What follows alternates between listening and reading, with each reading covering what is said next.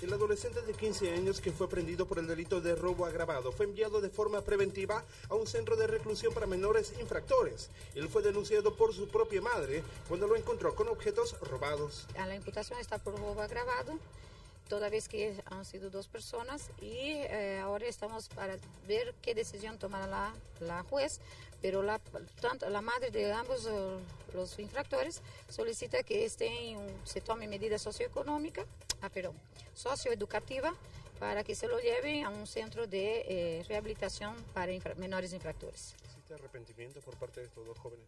Totalmente, son changos que por una situación u otra ha incurrido en acción antijurídica, están totalmente arrepentidos y ha visto que no es chiste cometer delitos, ¿no? Durante la audiencia el Ministerio Público demostró que el segundo imputado estaba por cumplir los 19 años, hecho que derivó a que el detenido sea derivado a una audiencia cautelar. La juez Iris Justiniano decidió enviarlo de forma preventiva a la cárcel de Palmasola. La madre de uno llama a la policía, lo denuncia y la madre del otro hace la devolución de los objetos.